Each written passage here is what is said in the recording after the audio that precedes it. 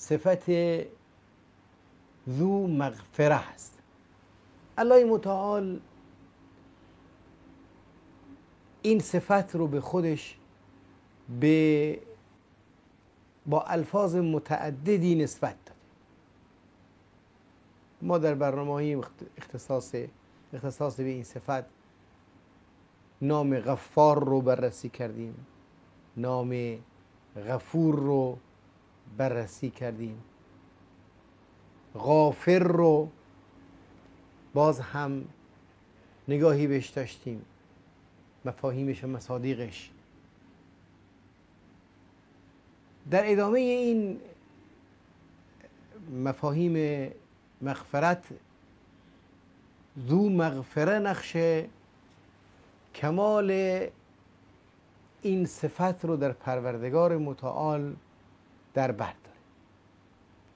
با در ارتباط با معنای غفران و غافر و غفور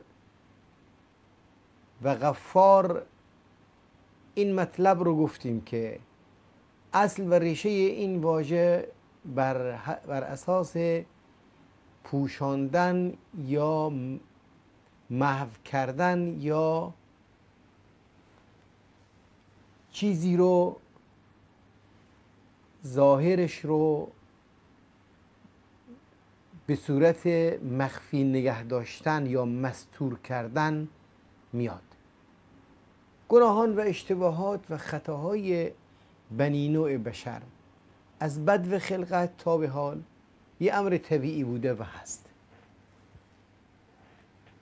و یکی از مواردی که انسان ضعف بشری رو می‌تونه احساس بکنه بحث خطاها و اشتباهات هست.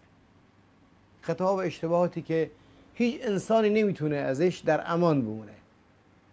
حتی انبیا هم وجهه انسانی اونها مواردی از لغزش رو در قرآن کریم برامون تعبیر کرده تا این بخش انسانی اونها رو از یاد نبریم. برای جبران این خطاها الله متعال صفت غفور بودن خودش رو برامون یاد آور میشه.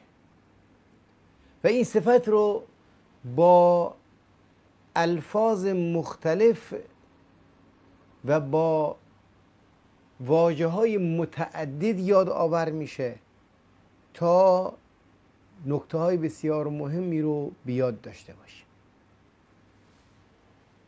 اولین نکته ای که در این باب حائز اهمیت هست اینه که الله متعال مغفرتش واسع هست.